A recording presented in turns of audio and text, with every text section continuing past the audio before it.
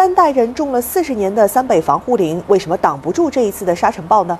目前啊，我国正在经历今年的第八次沙尘天气，包括南京、上海等南方地区在内的十八个省市空气质量爆表。哎，有网友就问了：这次沙尘啊，从蒙古到我国，是正好经过三北防护林，为什么我们种的树不管用了呢？其实，应对沙尘暴，三北防护林的作用是治本，也就是把沙地变成绿洲，消除沙尘暴形成的条件。应对本地产生的沙尘暴是没有问题的。但这一次的沙尘暴主要呢是来自蒙古国南部戈壁滩，跨过国境，在千米高空是顺风而来，这就不是防护林能阻挡得了的了。蒙古国的过度放牧，让他们百分之四十的国土已经变成了沙漠，情况不容乐观。沙漠化不仅是一个国家的事情，而是人类命运的共同课题。它不仅需要我国的大力整治，也需要国际间的合作。观众朋友们，大家好，欢迎来到方大言，我是方专。咱们今儿啊，再录一个小段，聊聊这沙尘暴的事儿。这次沙尘暴确实很猛烈，南方很多省市都遭受了波及。之前老是我们北京人、内蒙人，我们遭受这个吃沙子习惯了。这次呢，范围很大啊，很多南方朋友也吃到了，于是呢，引发了广泛的热议。但是呢，有意思点在于说，中国的官媒、央视等等，这次又甩锅了，而且甩的让人有点恶心。什么意思？他说，我们种了四十年的三北防护林，为什么拦不住这风沙呢？啊，原因啊不是我们的问题，是蒙古国的问题。蒙古国因为过度放牧导致的沙化，所以这沙子是从蒙古来的。叭叭叭叭叭叭叭。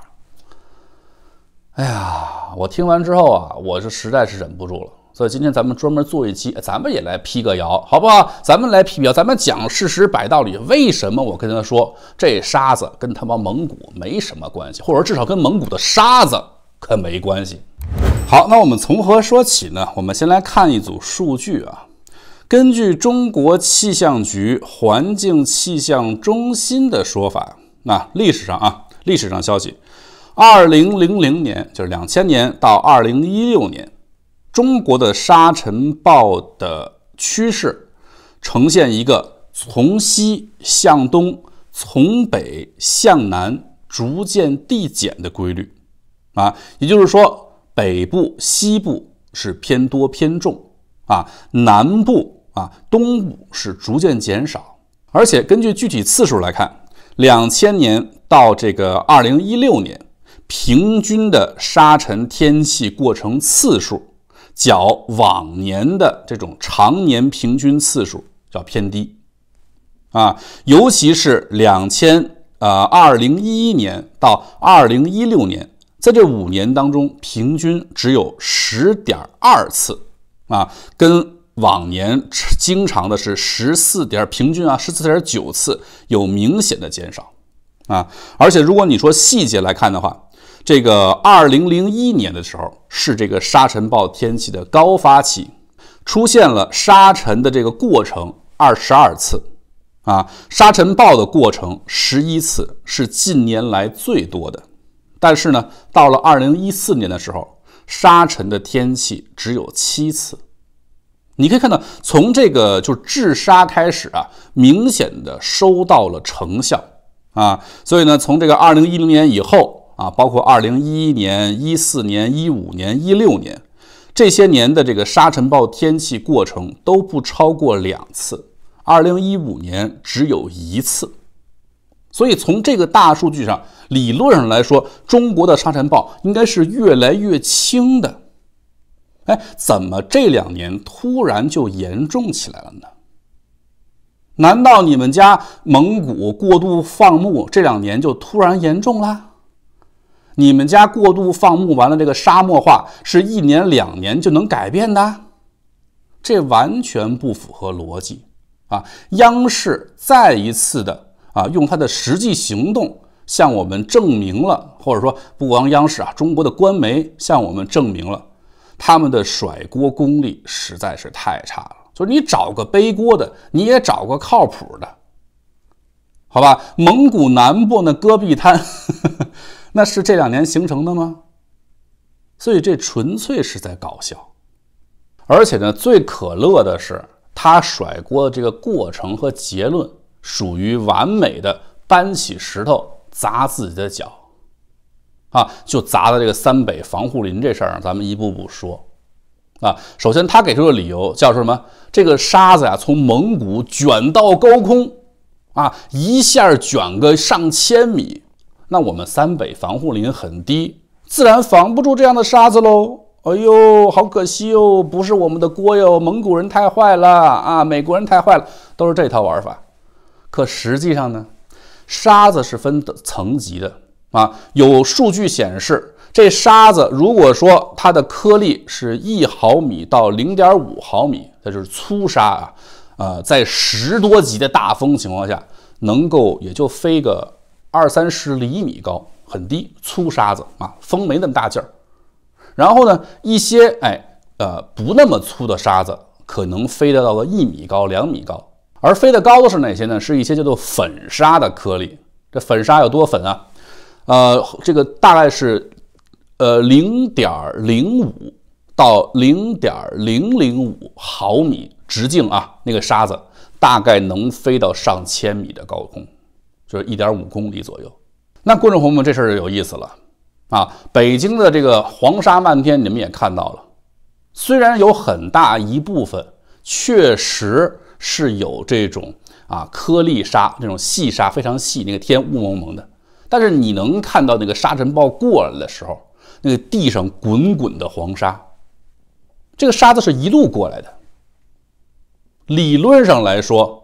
啊，如果说只是说啊，高空的蒙古的沙子就真的能够飘过来的话，它应该只有哪些能够飘过来？只有那些粉沙，就是那些直径在零点零五毫米到零点零零五毫米的那些非常微小的沙子有可能飘过来。那给我们的展现的也就是天空有一点灰，有一点黄，绝不会出现那些啊那么大的那些东西。怎么解释这个问题？啊，这就需要呃呃一些气象方面的知识。那砖头呢，虽然不是一个专业的气象学家啊，我也不可能是，但是这方面我正好碰巧啊，因为兴趣爱好啊，我稍微懂一点。因为当时我是北京人嘛，北京不是这个雾霾呀，这个黄呃沙尘暴啊，我当时就了解了一下相关的信息。啊，影响中国每年就是说春季和这个秋季的这个呃这种空气质量的这种沙尘暴的主要原因是这个气流，是吧？是冷风过境，是地初中初中地理的知识。那么影响中国气候的主要有两个问题，一个是乌拉尔山的高压脊，一个呢就是西伯利亚杠蒙古气旋，你也可以称为蒙古低压。这两个东西呢，这两个气流呢，啊，是经常季节性的侵袭中国。那么它确实有可能携带着这些沙子飘过来。但问题是啊，这个气流这个东西啊，你要知道，三北防护林它干的活儿可不是像这些官媒说的，说我们把沙子挡住，那是最 low 的玩法。你能懂我意思吗？那是最 low 的玩法。真正的沙尘暴，它一定是步步推进，一层压一层。什么意思？它的气候的这些特性决定了那个气流是层级的。我不知道怎么来解释这个观点，就是说，呃，这个如果说地面上种满了这些树，种满这些林子，枝繁叶茂。这个气流做蒙古低压啊啊，这个气旋过来再怎么强，经过这个三北防护林之后，它风力就弱了。哎，三北防护林是这么治沙的，这么防沙的，不是靠叶子挡住，而是降低下层的风速啊，让这个风速慢下来。那么上层的失去了这个这个这个空气流，你看它那个呃气流啊，冷风怎么形成的？冷热空气交汇啊，形成这种锋面。那么它下面的呃釜底抽薪之后，速度下来之后，上层也会慢下来。虽然它会可能越过这个三北防护林的区域，但是它也很快就沉降了。皮之不存，毛将焉附嘛。这个气流形成的根源本身不在了，那上面裹挟的沙子自然也就落下来了。哎，是这么一套玩法。那所以这个问题为什么说他搬起石头砸自己脚呢？就是很明显，这次来源的沙子压根儿啊，要我的分析啊，虽然我手里没有证据啊，你们可以说啊，砖头里胡说八道，我没有证据，对我没有证据。但是通过刚才我说这套逻辑分析，这沙子压根儿就他妈不是蒙古的沙子。OK 啊，在我看来，这次沙子就是原本本该被三北防护林防住的沙子。哎，那奇怪了。那为什么突然这个沙子就起来了呢？为什么三北防护林这么多年，啊，都干得很好，怎么突然就没了呢？或者突然就防不住了呢？那你就得问中国这些年干了什么事儿？你仔细想想，聪明的观众朋友们，你们应该想仔细想想，中国这些年在咱们圣上的英明神武、亲自指挥、亲自部署之下，他干了什么事情啊？退耕还林。还是退林还耕啊？还记得咱们之前说过那个梯田是吧？把山上都是树林，把山推平了。哎，先种树有经济效益，种果树，种完果树之后要把这个推平了，我们要搞梯田。哎，你就这么搞，啥三北防护林啊？八百北防护，八百标兵奔北坡，叭叭叭，那也防不住，谁来也防不住。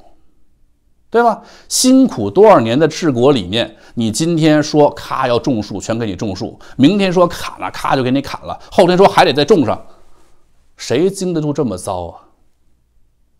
对吗？如果说这个这个沙子是蒙古来的，啊，如果说三北防护林啊从来都不管用，那你对吧？蒙古每年的这个这个蒙古低压，那每年都来呀。这些这些气气象的这些气流、寒流、寒流啊，冷风每年都来啊，那应该每年都是这么严重。所以问题出在中国自己身上，是中国这些年北方的一些变化导致了这一次沙尘暴这段时间沙尘暴如此的猛烈，跟人家蒙古人一点关系都没有，好吗？啊，正常有逻辑的人都能得出这个结论。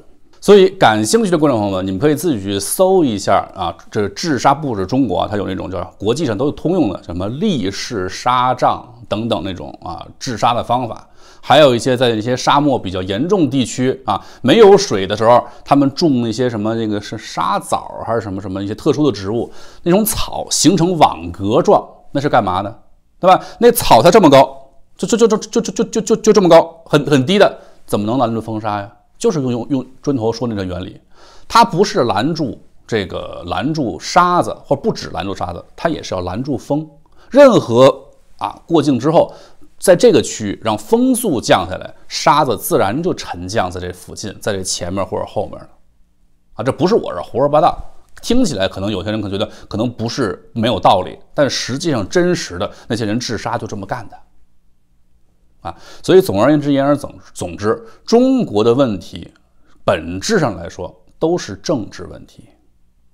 啊，治大国，烹什么小鲜不烹？治大国就得如烙大饼，我左翻右翻，水多加面，面多加水，这就是咱们中国有特色的社会主义现象。你没辙，没解啊！所以呢，真的这个事儿啊，也什么冤有头，债有主。